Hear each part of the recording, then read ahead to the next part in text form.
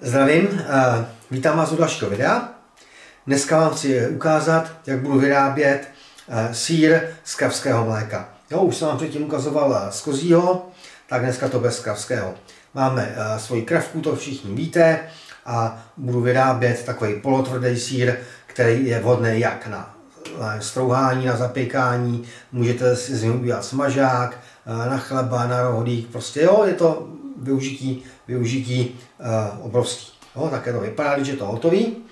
A samozřejmě, co tomu je potřebovat, je samozřejmě základem mlíko a to mlíko uh, bude teda čerstvý. Nebude to koupené mlíko, protože z toho by to ani nešlo udělat, možná šlo, ale určitě by to nebylo tak, tak pěkně uděláno, tak pěkná kvalita. Takže uh, mlíko seženete v kravíně, seženete ho u lidí jako jsem já a seženete ho určitě i ve výdejních automatech. Ty jsou dneska hodně, hodně populární, hodně rozšířený, takže prostě, aby to bylo čerstvé mléko, eh, který není podstředěný a který není, eh, nebo který neprošlo tepelnou úpravou. Tak, eh, mlíko teda mám v varenci, takže, takže začínat budeme tím, že to mlíko budeme se snažit trošičku ohřát. Máme tady teploměr, a budu se snažit dostat to mlíko na nějakých 32 stupňů. Jo, jsme na 20, takže jakmile to bude mít 32, 33 stupňů, tak eh, vám řeknu hned, hned to s tím dál. Jo? Jenom opatrně, opatrně to míchat, ono teda při té nízké teplotě se to připalovat nebude, ale lepší je to prostě občas takhle promíchnout. Tak. Takže dosáhli jsme 32 stupňů, takže si dám mlíko splotné, dám to na stranu. A mám tady kulturu, jmenuje se Omega. Omega já nevím kolik, já bez Bradley já to nevidím. Tak. A nasypuji trošičku, odklepnu také na hladinu toho mlíka, opravdu jenom trošinku. A uklidím do mrazáku. Jo, tahle ta kultura, ta se, ta se prostě eh, skladuje v mrazáku. Na internetu se ženete, není problém, jo, ani to není drahý. Tak, já si to tam stačím rovnou.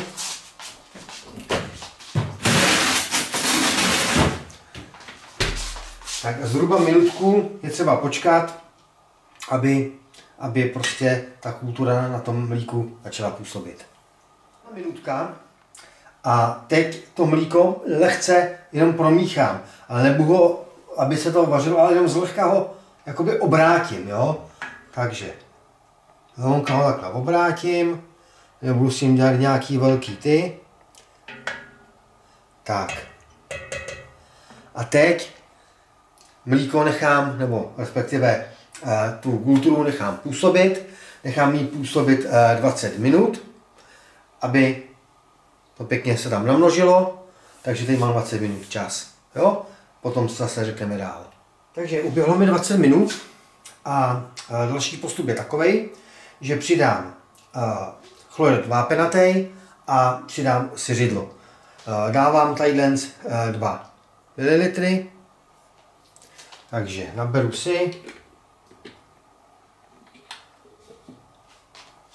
Chlorid vápanatý, zamíchám, ten se dává, protože že potom jakoby ten vápník se celým tím procesem jakoby ztratí z toho mlíka, tak jakoby, aby jsme ho tam doplnili, ale pokud ho tam nedáte, absolutně nic se nestane. To už mám zkoušený. Jo? A samozřejmě seřidlo, zase dávám dva kubíky na tenhle ten, na tenhle ten hrnec, který má nějakých, eh, nebo blíží se k sedmi litrům, když je plný. Teď plný není, takže, takže asi tak. No a já už mám tady málo, jsem to víc naklonil, abych nabral. Tak. Zase zamíchám.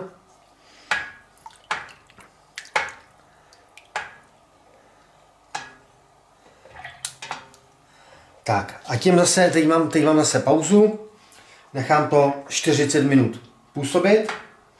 To znamená, eh, když si budeme potom eh, počítat čas, kolik na to potřebujeme, tak víme, že ohřejeme mlíko na 32 stupňů, což je chvilička, 20 minut eh, necháme působit omegu a 40 minut necháme působit ten, ten no, to, to seřidlo, tak. Takže hodinka, hodinka, malinko něco přes hodinku. Jo? Takže, takže teď to nechám být a po 40 minutách si asi řekneme, co dál. Tak, uběhlo mi 40 minut. Pojďte, jak mám, jak to vypadá. Taková sedlina. Tak. Tuto tu sířeninu teď v první řadě musím rošlát. Jo. Víte?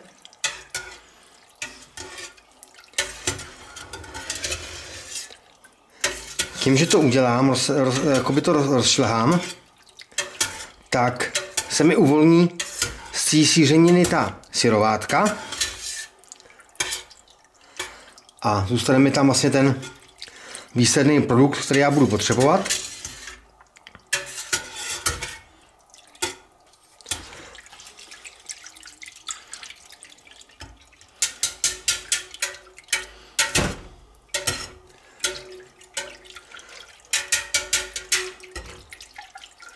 Tak.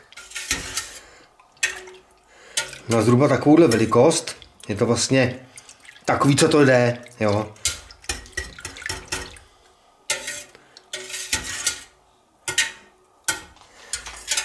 Tak, teď to mám rozsekaný a já potřebuji odsáď dostat trošičku, trošičku syrovátky pryč. Zhruba tak mělo by to být nějakých 20%, teď budu potřebovat ty syrovátky odebrat. Jo? Tak a já si to udělám tak, že si tady dám takhle cedník a budu odebírat tak, abych odebral nějakých 20% té serovátky.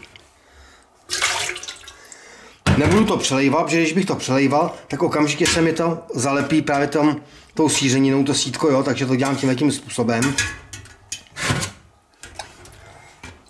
až budu mít 20% syrovátky Takže mám odebraných 20% syrovátky a ještě to trošinku míchnu. Když to bylo plný, tak se s tím nedalo tak rychle pracovat. Teď bude důležitá věc. Pustím si do toho, co jsem odebral, tak vlastně nahradím horkou 60 stupňovou vodu. Boiler mám nastavený na 60 stupňů, takže se nemusím bát, že bych to nějak poplet. Už to mám i vyzkoušený, takže nechá se krásně voda od, od, aby tam byla jenom horká.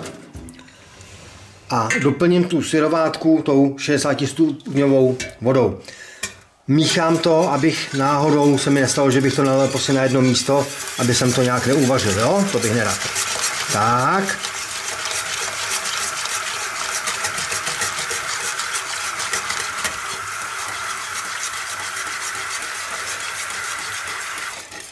Jo, asi takhle. Tak, a teď je důležitý 10 minut u tohohle být a takhle si hezky míchat. Jo, protože když, když to přestanu míchat, tak ono mi to sedne. Jo? Vidíte, jak už krásně nahoře se dělá ta syrovátka a dolů mi padá ta sířenina. Takže 10 minut s tím teď takhle budu kvedlat. Jo, ale jak se to už spojuje, jo, abych to měl prostě rozdělený. Takže 10 minut. Takže po deseti, po deseti minutách míchání nechám zhruba na minutku eh, celý ten výrobek jakoby sednout, to znamená tu syřeninu, aby mi šla ke dnu, nás tam pomalinku začne slepovat, syrovátka nahoře a tu teď budeme odlejvat. Můžeme ji odlevat rovnou do kýble, já si to dám tady přes sítko, protože samozřejmě uh, určitě něco nám z toho odpadne.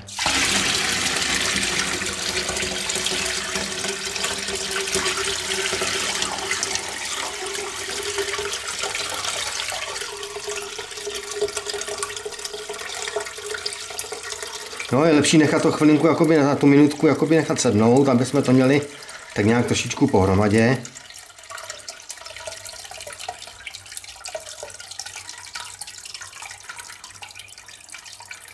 No stejně všechnu syrovátku nevylejeme, to ani náhodou ne. Tak, a tohle to vlastně začneme plnit, plnit do, do formy. Jo, takže tohle to tam můžeme dát. Až je samozřejmě tam potom z toho zbytku přijde. Hele, také to vezmeme rukou, také to tam do toho nadspem. Pěkně umačkáme, jak nám z toho ta syrovátka vyteče.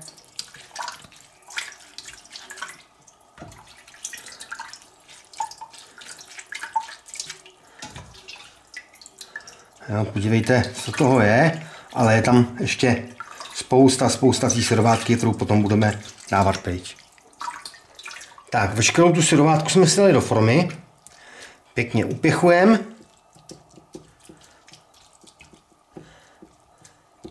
Tak a rovnou, rovnou to otočím, abych měl hezký tvar ze všech stran, jo, nejenom ze spoda.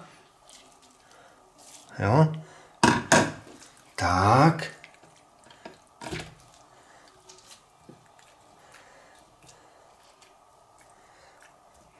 Tak a teď už to nechám a nechám z toho vykapávat, vykapávat tu syrovátku. Jo, ono to bude trvat opravdu, já nevím, řeknu dvě, tři hodinky, aby to bylo eh, z té největší části, jako nikdy to nebude úplně, ale eh, z té největší části, aby to bylo pryč. A během té doby to budu otáčet. Jo, koukejte, teď jsem to, to takhle otočil a už zase můžu vylivat syrovátku, jo. Tak a tohle to zhruba nechám tak, já nevím, 15 minutek, on mi to tady z toho vyteče, zase sejra otočím a pak to budu dělat třeba jednou za půl hodinky. Teď už je jedno, jestli budu dělat, jak jsem říkal, dvě, tři hodiny nebo pět hodin, to už je potom jedno. Já si vždycky začínám dopoledne, aby na to měl uh, odpoledne čas, jo, protože když začnu někdy třeba, já nevím, v 6-7 hodin odpoledne nebo k večeru, tak abych tady byl do půlnoci, to se mi nechce. Jo? Takže tak. No. Podívejte, už, už, zase, už, zase, už zase vytýká, jo? Už tam zase nějaká je. No, takže teď to nechám a budu to, budu to pár hodin prostě otáčet. Takže uběhlo zhruba tak asi 3,5 až 4 hodiny. Koukněte, už, už mi to skoro nepouští. Jo, malinko, malinko. Takže vyndám. Takový krásný bochánek mám. Vy vidíte, že to jakoby hodně uteklo, jak se to zmenšilo. A teď je důležitý ten sír pořádně nasolit. A když říkám pořádně, tak opravdu pořádně. Nebát se toho. Jo. Ale jedno lžíce, možná i víc, klidně. Jo. Z jedné strany. Z druhé strany. No tam ta sůl tam celá ne, nezůstane, abyste si nemysleli, jo, to by bylo přesolený. Ze stran. Tak. Jo. Prostě obalit ten sír v té soli. Tak, oklepnu. No, položím na prkínko a strčím to do lednice. V té lednici to budu ještě otáčet, zhruba tak zase já nevím, jednou za dvě hodinky, po dobu nějakých dvou, tří dnů. Ono to potom krásně oschne, ta sůl vytáhne, vytáhne ještě e, tu syrovátku tady z krajů, z krajů toho, toho síra a udělá se taková jakoby šlubka, že to krásně na povrchu je jakoby stvrdné a v, uprostřed to bude dál jakoby zrát, jo. bude ten sír se tam vytvářet a bude to tam prostě dozrávat. Takže tohle to je uh, pro dnešek vlastně de facto všechno. Teď už to stačím do lednice a budu to tam dva, tři dny otáčet. Jo? A já vám pak ukážu, až, až, až, až přijde ta doba, co s tím dál. Eh, když mi pěkně ten sejra po pár dnech voschne, tak uh, kontroluju, kontroluju, aby byl všude stejně jakoby oschlý, aby nikde nebyl světlejší, nikde tmavší, uh, protože samozřejmě tím, jak on je připláci na tom prkínku, tak k tomu nemůže vzduch. Jo. A proto stačí, když to stvrdne vzít si obyčejný špejle, přepůlit, položit na to a otáčet, otáčet teď zase už jenom na těch špejlích, jo? aby to malinko bylo ve vzduchu. Stačí opravdu jenom ta, takováhle skulinka malinká, aby tudy mohl vzduch a aby to bylo krásně všude stejně, eh, stejně hotový. Jo? Takže jo, a uh, jak dlouho? Přibližně, přibližně záleží samozřejmě na teplotě v lednici, ale zhruba odhadem po těch třech týdnech až čtyřech se ten sejra nechá jíst. Uh, jinak samozřejmě, když ho necháte díl, tak budete mít díl. Uh, on zraje prostě pořád takový zrající sír, jo. Ale myslím si, že nemá cenu ho tam nechávat díl než, než ten měsíc, protože pak by byl hodně, hodně jako by potom, potom vyschle, jo. Tak jo, takže to je takhle a uh, teď už mi nezbývá jenom, než abych vám ukázal, jak vypadá vevnitř, aby jsme to taky ochutnali. Tak a jdu vám ukázat, jak bude vypadat vevnitř. Takže vezmu sír, nakrojím.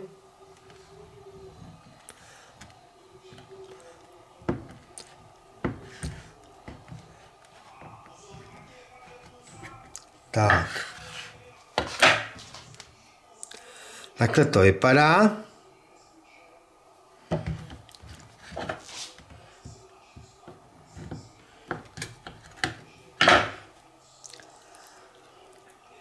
Takhle bezvadně to chutná. Vezmu. Jak jsem říkal, nechá se to strouhat, nechá se to dělat smažák, na chleba perfektní, chleba, máslo, sír, bomba, nemá chybu. Je zrající, jo, to znamená, že on prostě bude ještě, ještě pracovat, ale pro mě ten, ten, ten, ten sejra jsme nechávali tři týdny a pro mě je prostě ideální tady, tady v tom, tady v tom prostě čase, tak si vypadá tak, jak vypadá. Jo? Takže je to potom na vás, můžete si ochutnat a příště si ho třeba nechat díl, jo. Ale já bych to nechal takhle. Jo? Takže eh, tím pádem máme sejra hotový. Mě zbývá, než se s váma rozloučit. Eh, doufám teda, že sejra vám, eh, se vám povede, tak jako mě. Já ho pořád stejný, nebo respektive dělám ho pořád stejně, ale nikdy ho stejný mít nebudete. To jako nemůže nikdo zaručit, protože, protože furt děláme to doma, že jo, a může tam být o jeden stupeň, o dva stupně víc, míň, v lednici je to samý, jo, e, otočíte víckrát, mínkrát, jo, bude toho mít přibližně stejný po každý, ale nikdy ne úplně naprosto na 100%. Jo, je to prostě domácí výroba. Tak jo, tak ať vám chutná.